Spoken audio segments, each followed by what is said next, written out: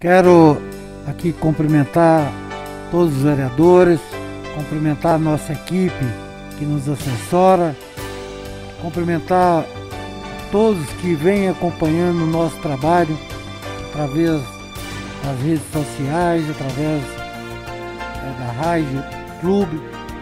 Quero cumprimentar e agradecer por nos acompanhar e gostaria aqui de fazer das palavras do vereador Osmano do Podemos, o vereador é esse que muito honra o nosso partido, sua postura é em defesa da população, das suas, da sua postura é, em cobrar, não só agora na véspera de, de eleição, mas por ter dedicado seu mandato sempre cobrando as necessidades do povo que ele o, representa. Portanto, vereador Osman, é, o nosso partido, eu sou o vice-presidente, tem muita honra de tê-lo como vereador e eu tenho certeza que o povo de Turmalina vai te reconduzir essa casa para que Vossa Excelência possa continuar fazendo esse belo trabalho em favor da população. É, quero aqui dizer, falar da crise hídrica. Uma, uma bandeira que levantei há alguns anos.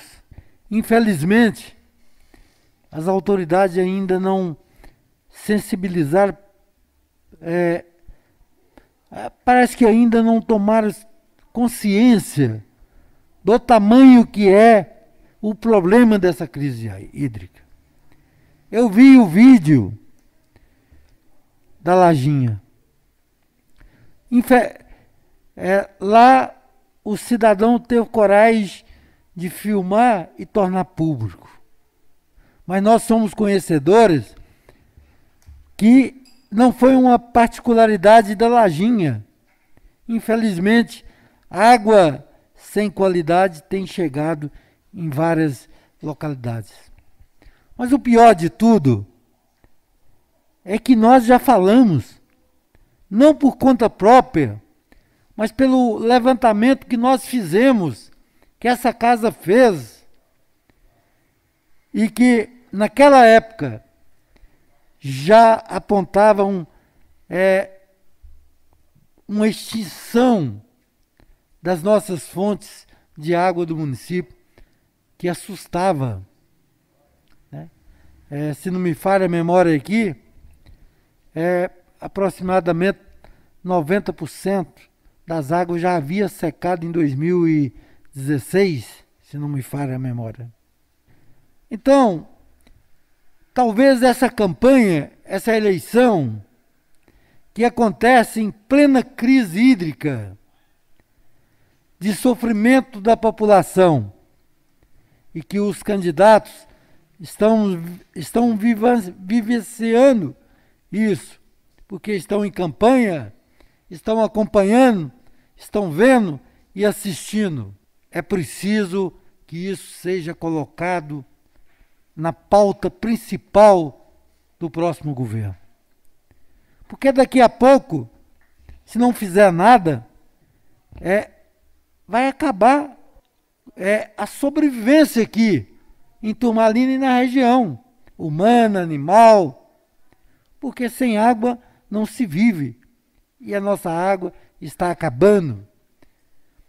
É, eu vou confessar aqui sempre uma frustração que eu tive.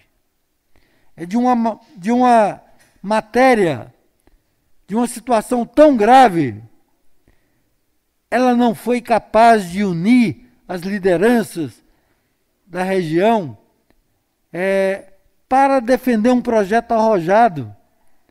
O ano passado, quando chegou no pique da seca, houve uma sensibilização e depois um silêncio. E está voltando agora.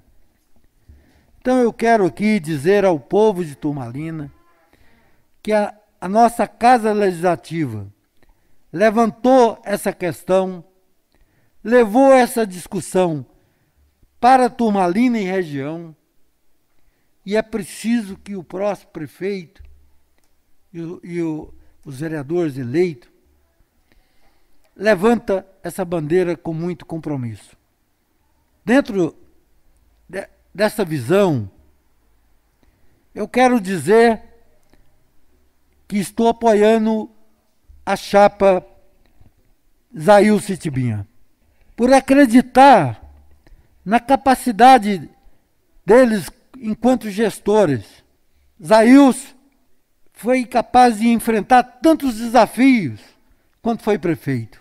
Obras aí que as pessoas não tinham mais esperança, não acreditavam, e as pessoas viram acontecer. E foi um governo que fez do seu primeiro ano de governo até o último ano uma gestão eficiente, sintonizada com os anseios da população. Um governo é, que proporcionou um momento de muita alegria em Turmalina. E as pessoas, eu estou falando, e as pessoas vão ter essa lembrança. Era um governo de tantas inaugurações de obras e cada inauguração era um grande manifesto de alegria da população. Eu não poderia deixar de dizer isso ao povo de Tomalina. É, confio plenamente na capacidade dos Ailson do Tibinha de corresponder com o anseio da população, de buscar as parcerias necessárias. Esse problema da crise hídrica é um problema para enfrentar em conjunto. É preciso o poder público, com a, todas as demais instituições, com as empresas, com o cidadão comum, com, é preciso ser enfrentado junto. Nós estamos, a gente que é oriundo da zona rural, que nasceu na roça, que criou na roça, e que tem a nossa vivência é na roça. Ora, gente, é muito triste chegar num lugar e ver que as pessoas não estão podendo sequer criar uma galinha, porque não está dando para dividir, às vezes, um pouquinho de água, né? É, é, a água está tão contabilizada ali que não pode criar uma galinha, não pode às vezes criar um porco, não pode ter, ter um, é, um canteiro de cheiro verde, porque não tem água para molhar. Então, é essa a realidade que nós estamos vivendo, vereador Tibinha. E é essa realidade que tem que ser enfrentada com coragem e com determinação. Então eu tenho ficado muito contente de ver no programa de governo seu e dos Ailson, de ouvir nos pronunciamentos seus o compromisso de enfrentar essa crise hídrica. Não poderia deixar de dizer também do compromisso seus com a geração de emprego. Não há como ter felicidade, não tem como ser uma cidade feliz se o povo não tiver trabalho, se as pessoas não tiverem renda. Então, eu quero aqui reafirmar a nossa esperança no governo de vocês. E para isso, nós queremos pedir ao povo de Turmalina que seja bastante consciente, que faça uma avaliação profunda e que decida o seu voto conscientemente. Que no dia 15 de novembro, dê o seu voto no 15.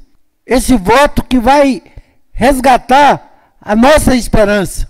Esse voto que com certeza vai ser o, o voto da vitória do povo de Turmalina. E na oportunidade, já não poderia, não poderia deixar já de agradecer centenas e centenas e centenas de pessoas que têm aderido a campanhas suas, que têm colaborado, que têm ajudado. O carinho que as pessoas têm demonstrado aos Ailson e ao Tibinha e a esperança que as pessoas têm depositado em vocês. A confiança que as pessoas têm depositado no plano de governo seus. Portanto, eu quero dizer que esse é o caminho que nos é, transmite a maior segurança, porque nós temos um candidato a prefeito que foi gestor, que foi equilibrado, que foi humano, que realizou, que fez muito, que fez todos os meses do seu governo, que não parou em nenhum momento, que olhou todas as áreas, que evoluiu na saúde, na educação, no transporte, no social, no desenvolvimento econômico e social. Então, é a grande oportunidade de fazer Turmalina voltar no seu rumo, o rumo certo, do crescimento, do progresso, do desenvolvimento econômico, humano. É a grande oportunidade. Não vamos deixar de fazer essa reflexão. No dia 15, vamos lembrar do 15, o voto da esperança, o voto do futuro. Um abraço a todos e não tendo mais nada a tratar, declaro encerrada a sessão.